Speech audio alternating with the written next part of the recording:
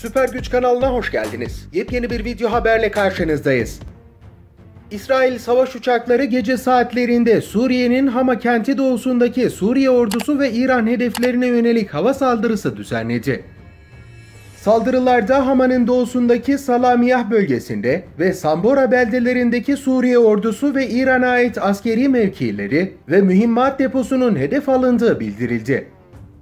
Yerel kaynaklar saldırılarda 14 kişinin öldüğünü, 40 kişinin ise yaralandığını açıkladı.